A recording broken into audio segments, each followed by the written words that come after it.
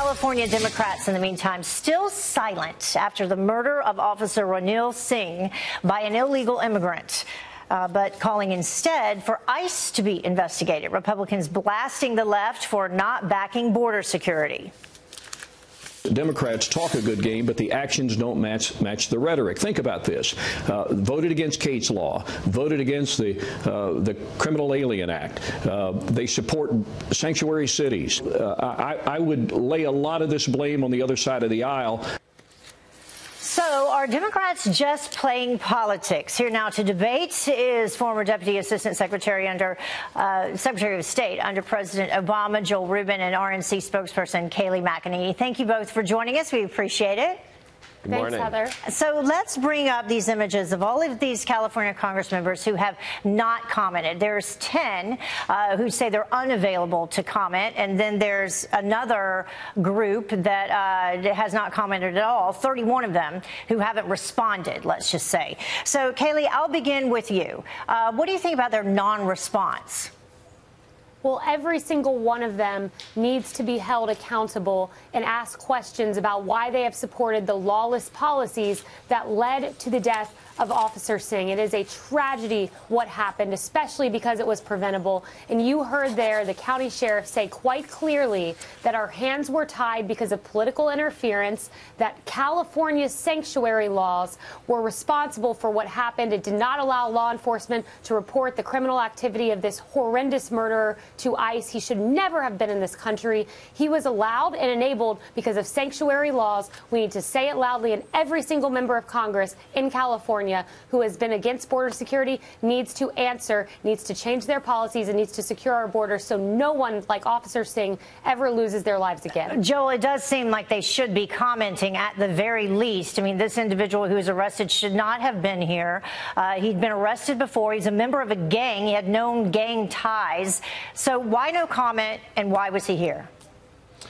Well, Heather, first and foremost, absolutely, the killing of Officer Singh is deplorable and it should be condemned, and it should be condemned across the board. But that's not the real issue here. The real issue is that uh, we don't have an immigration system at all that's functioning. We do need a comprehensive program. We need to ensure that individuals like uh, this killer who had uh, been arrested before, that they are prosecuted properly. But uh, we can get them without uh, generalizing about an entire immigrant population. The sanctuary cities, and I'll be very blunt, uh, oftentimes have uh, allowed individuals to call the police against criminal activity. They uh, enable people to feel comfortable to do that. Uh, it's not at all clear that sanctuary, sanctuary cities are the cause of this. We shouldn't mix cause and effect. Uh, the individual should be prosecuted, but it's not because he's an immigrant. It's because he's a bad individual.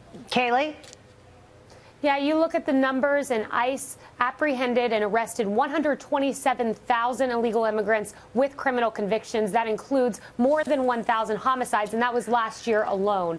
There are a bad contingency among the illegal immigrant population. Good. It's not everyone, but it is certainly some, and not a single American, not one, should lose their lives because the laws were not enforced. There are far too many examples from Officer Singh to Dominic Durden to Kate Steinle. You can name their names, and every single one of those Americans would be here today if the laws were enforced. And the Democrats need to step up to the plate, negotiate with the president, stop vacationing in California, Nancy Pelosi, come back to Washington and negotiate so people are safe and secure in our country and in our borders. Well, clearly the laws worked. If these individuals were arrested, I mean, that's that's not the problem. It's not because Democrats are calling for comprehensive immigration reform that individuals are committing murder. Uh, there's just no cause and effect there at all.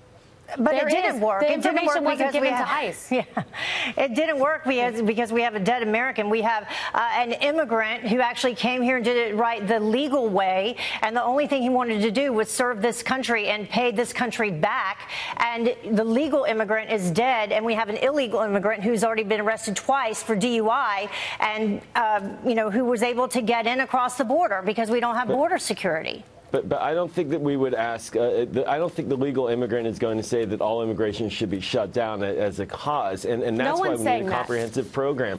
But that's why we, we shouldn't be walking away from comprehensive immigration reform that creates a process for asylum seekers and for immigrants that's real and legitimate and clear. And right now we don't have that. And the Trump administration is, is playing politics and blaming Democrats rather than coming to the table and having a real negotiated outcome for that kind of a program. But they're not at the table because they're in Hawaii.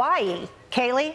Right, right, exactly. And the only person, the only uh, party here that has offered a solution, comprehensive immigration reform, is President Trump. He said, I will give you DACA legalization if in return you give me the barrier structure, you give me a border wall. It was a fair compromise. Democrats walked away. Nancy Pelosi's in Hawaii. Chuck Schumer laughed at the deal. This was a fair deal. If you want border security, you want DACA legalization, there's one person who is willing to give it, and it's President Trump. It's up to Democrats to stop Well, vacationing year- and come back to a- a- Washington. A year ago, President Trump actually wasn't comfortable making that deal. He had $25 billion on the table that he walked No, away that's, from. that was a But right now, farce. So he's- there were strings tied around a that couple 25 billion. billion. Yeah, the 25 billion was in appropriations money, and now he's gone from 5 billion down to 2.5 billion, and we're still not negotiating. Uh, Joel and Kayleigh, thank you both for joining us. We will see if any work gets done when everybody gets back. Thanks. Thank you. Thank you. Happy New Year. You too. Happy New Year.